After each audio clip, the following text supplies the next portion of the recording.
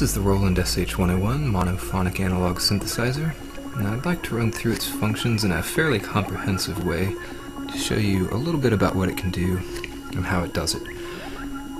This power switch, got it turned on and warmed up so it'll be in tune. Master volume. Go ahead and start.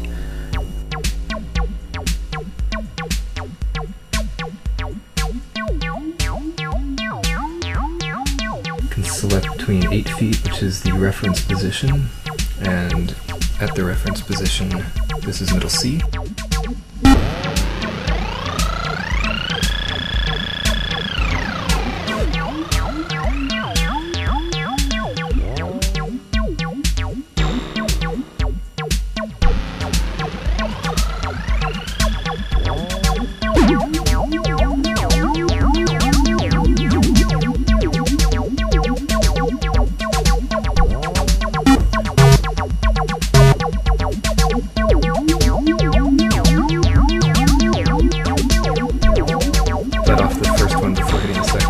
auto, you have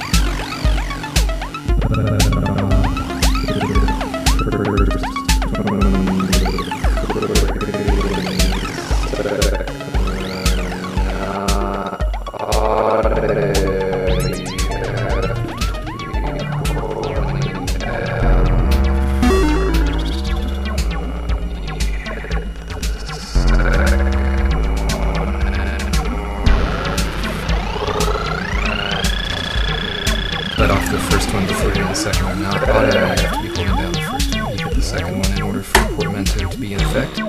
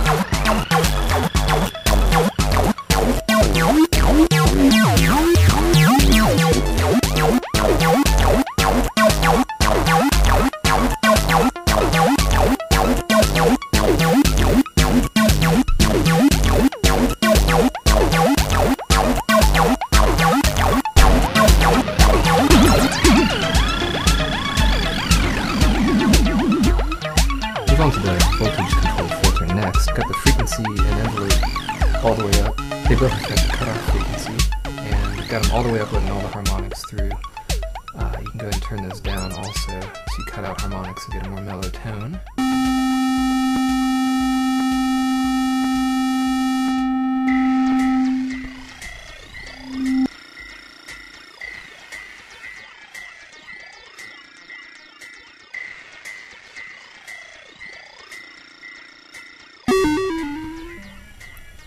Uh,